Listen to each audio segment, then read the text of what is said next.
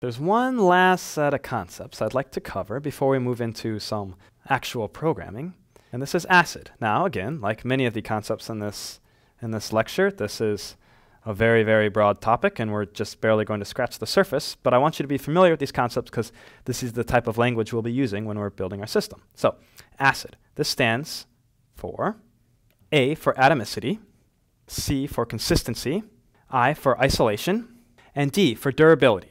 Atomicity refers to the notion that all parts of a transaction succeed or fail together. Now, we haven't talked about transactions, but these are basically just a, a, a, group of, a group of statements. So if we were updating our database, which is actually not something we spent much time on, um, there may be the case where we're updating two tables at once, or updating multiple rows in our database together you know, in, in, one cohesive unit. For example, if, if we're working from the Reddit example, if we had a link table and a users table, and somebody upvoted on a link and that increases the user's uh, reputation, we might increase the score of the link and also increase the reputation of the user. And those would happen in something that's called a transaction, which groups together multiple commands. Atomicity refers to the notion that either all of those commands are going to succeed or they're all going to fail, but we don't just we don't do part of it. We don't have just updating the link and not updating the user. Everything happens together. So this is a nice property for a database to have. Consistency refers to the notion that the database will always be consistent. And to work from our Reddit example, let's, let's talk about this idea where we have a, a link and a user who have properties.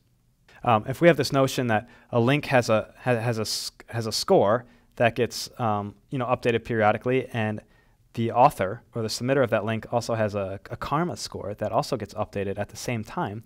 Consistency refers to the notion that both the score and the karma will be uh, consistent with one another so that we don't you know, update the score without also updating the karma. Basically means the database will move from one valid transaction to the next. So we'll never you know, run a query that gets a link's um, updated score but can't also get the user's updated karma. So isolation refers to the notion that no transaction can interfere with another's.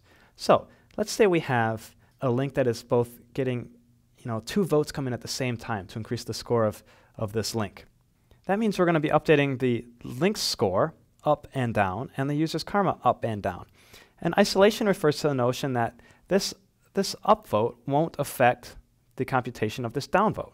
You know, if we were overwriting this link in our database, it would be a shame if that the downvote was applied to the original link score before the upvote was applied.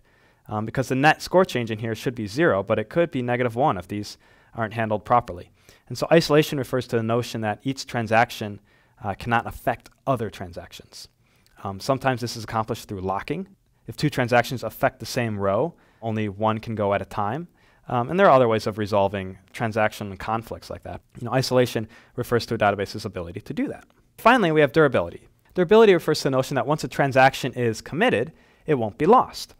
This means that, for example, if we send an update to our database and we update some rows, and the database says, okay, you know, successful, that even if the database is turned off or crashed, crashes or is unplugged, we won't lose that data. Um, that is durability. One thing, um, you know, I'd like you to know, I know, I know we introduced a lot of new concepts in, in, in this, in this portion here. Um, but the important takeaway from this is that when you're, when you're talking about different database systems, they have different trade-offs. It's hard to be fully, have a database that's completely atomic, it's completely consistent, all transactions are isolated, and is completely durable. There's always some trade-offs.